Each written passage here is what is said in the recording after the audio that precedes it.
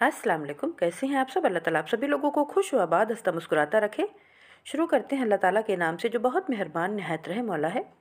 आज हम आपके लिए बहुत ही ज़बरदस्त कबाब की रेसिपी लेके आए हैं। बहुत ही टेस्टी बहुत ही लाजवाब कबाब बनने वाला है। और कमाल तो ये है कि ना तो आपको सिल बट्टे की ज़रूरत पड़ेगी और ना ही आपको बिजली जाने का डर होगा। किसी मिक्सर ग्राइंडर की ज़रूरत नहीं पड़ने वाली है। बहुत ही लाजवाब, बहुत ही टेस्टी कबाब को हमने कैसे बनाया है। स्टेप बाय स्टेप देख लेते हैं। बिसमीम तो यहाँ एक कुकर में हमने चने की दाल को धुल के लिया है। देखिए, एक प्याली हमने दाल ली हुई है, सौ ग्राम है दाल। इतनी दाल हमने धुल के अच्छे से ले ली है और यहाँ पे साढ़े तीन सौ ग्राम हमने गोश्त लिया हुआ है। बिना हड्डियों का गोश्त है। देखिए, इस तरीके से हमने छोटे छोटे पीस में कट कर लिया है। पीसेस देखिए, इतनी बड़ी रहेंगी तो हमारा रेशा बहुत ही लाजवाब बनेगा। बिना मेहनत, बिना झंझट के हम बताने वाले हैं तो आपने ज़रूर वीडियो को देखना है। तो यहाँ पे देखिए, एक प्याज को हमने इस तरीके से कट करके शामिल कर दिया है। और यहाँ पे दो तेज़ पत्ता है, पाँच सब्ज इलायची है, एक मोटी वाली इलायची है, इसके मुँह को खोल के हम शामिल कर देंगे। और यहाँ पे देखिए दो पीपली हमने ली हुई है, पीपली ज़रूर शामिल करिएगा, कबाब का बहुत ही अच्छा सा टेस्ट इससे आता है। और यहाँ पे दालचीनी दो टुकड़े हमने ली हुई है टेस्ट के हिसाब से नमक डालेंगे, एक चम्मच हमने नमक लिया है, आधा चम्मच हल्दी पाउडर, एक चम्मच गरम मसाले का पाउडर, आधा चम्मच जीरा पाउडर, एक चौथाई चाय का चम्मच काली मिर्चों का पाउडर और कुटी हुई लाल मिर्च को हमने यहाँ पे एक चम्मच लिया है। अपने टेस्ट के हिसाब से मिर्चों को शामिल कर दें और एक पोथी बड़े से लहसुन को हमने यहाँ पे छील के ले लिया है और इसी तरीके से साबुत ही हम इसमें शामिल कर देंगे। तो सभी मसालों को हमने इसमें शामिल कर दिया है और इसमें हम थोड़ा सा पानी भी शामिल कर देते हैं, थोड़ी सी इस पर जो मसाले लगे हैं, इनको भी हम साफ़ करके शामिल कर लेते हैं और बकिया पानी हम इसमें शामिल कर देते हैं। तो देखिए, एक कप पानी हमने इसमें शामिल किया है क्योंकि हमें गोश्त को और दाल को बहुत ही अच्छे से गलाना है। तो देखिए, सभी चीज़ों को हम मिक्स कर देते हैं। अच्छे से मिक्स करके हम यहाँ पे ढक्कन लगाएँगे। ढक्कन लगाकर हम लगभग तीस मिनट तक पकाएँगे ताकि दाल और गोश्त हमारा बहुत ही अच्छे से गल जाए। तो यहाँ पे हमने ढक्कन लगा दिया और आज के ऊपर रख दिया है। तो तीस मिनट हो चुका था, तीस मिनट के बाद हमने बंद कर दिया है और फिर पाँच मिनट के बाद हमने यहाँ पे जो बकिया बचा हुआ प्रेशर है उसको रिलीज़ करके इसे चेक करते हैं।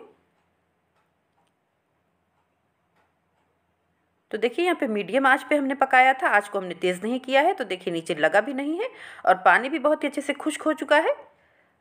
और यहाँ पे आइए चेक कर लेते हैं कि हमारी बोटियाँ गल गई हैं या नहीं। तो देखिए, बहुत ही अच्छे से हमारी बोटियाँ गल भी रही हैं और बहुत ही अच्छे से रेशा भी बन रहा है। तो बस ऐसे ही हमको रेशा बनाना है और बहुत ही आसानी के साथ इस तरीके से आप चाहें तो फोक की मदद से भी रेशा बना सकते हैं। यहाँ पे जो सब खड़े गरम मसाले हैं, जो बड़े बड़े से हैं, सबको हम निकाल लेंगे। तो जितने गरम मसाले खड़े हमने डाले हैं, सभी को हम निकाल लेंगे, इलायची वगैरह सब हम निकाल लेंगे और बकिया तो हमने पिसे हुए मसालों का इस्तेमाल किया है। तो देखिए, अच्छे से सभी मसालों को निकालने के बाद आप चाहें तो आप इस तरीके से करछी की मदद से भी आप इसे कर सकते हैं मैश। बहुत ही आसानी से हो जाएगा। दाल भी देखिए बिल्कुल अच्छे से गली हुई है और गोश्त भी अच्छे से गला हुआ है। जिस तरीके से भी हम कर रहे हैं, बहुत अच्छे से मैश हो रहा है या फिर इस तरीके से आप पोटैटो मैशर ले लें और आराम से इस तरीके से मैश कर दें तो बहुत ही अच्छे से मैश हो जाएगा, बहुत ही अच्छे से हमारा रेशा तैयार हो जाएगा। और ईद उल अज़हा पे आप इसे बनाना चाहें तो बहुत ही आसानी के साथ बना के ढेर सारा स्टोर करके रख सकते हैं और फटाफट से आप अपने मेहमानों के लिए फ्राई कर सकते हैं। अगर दाल की क्वांटिटी आप इतनी ही रखें और ईद उल अज़हा पे आप बनाएँ तो गोश्त की क्वांटिटी को बढ़ा सकते हैं। इतनी दाल में आप 500 ग्राम गोश्त डालेंगे तो भी बहुत ही अच्छे से आपका कबाब बन के तैयार होगा। तो देखिए, बहुत ही अच्छे से हमने मैश कर दिया है।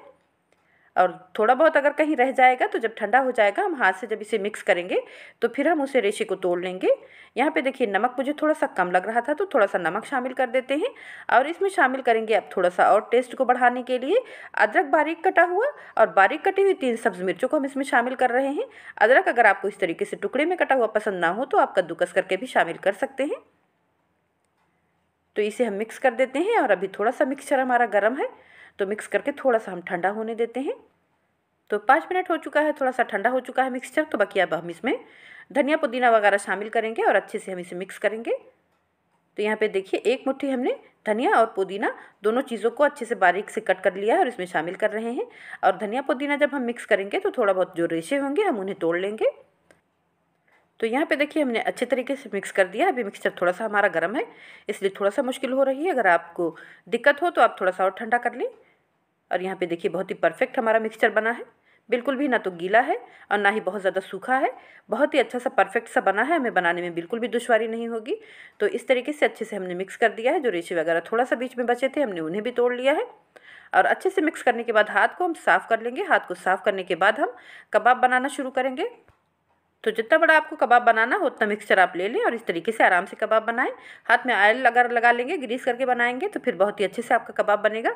बिल्कुल भी हाथ में नहीं चिपकेगा। तो इस तरीके से देखिए, हमने एक कबाब का शेप दे लिया है और इसी तरीके से हम सभी कबाब को शेप देंगे।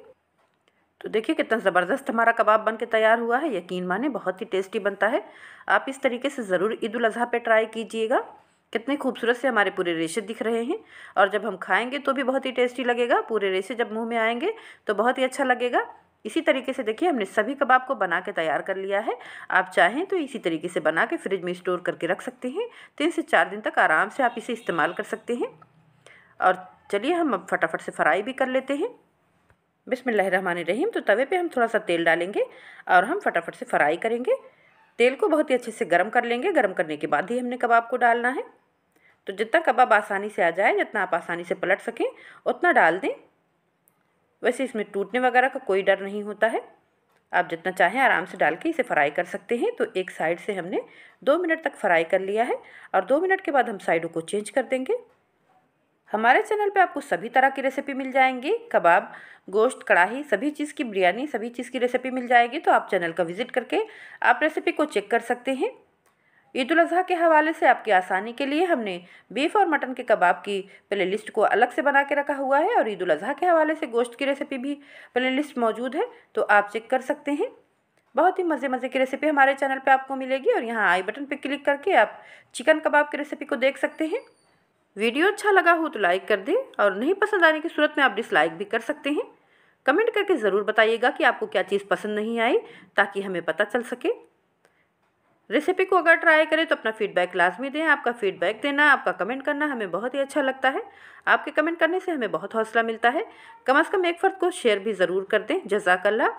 चैनल पर अगर नए हैं या अभी तक आपने सब्सक्राइब नहीं किया है तो आपसे मेरी दिल से दरख्वास्त है कि आपके अपने इस channel easy recipe by Shabina को सब्सक्राइब करके अपना प्यार लाजमी दें।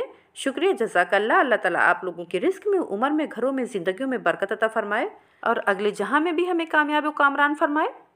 दुआओं में ज़रूर याद रखिएगा। मिलते हैं नेक्स्ट वीडियो में। इन अल्लाह हाफिज़।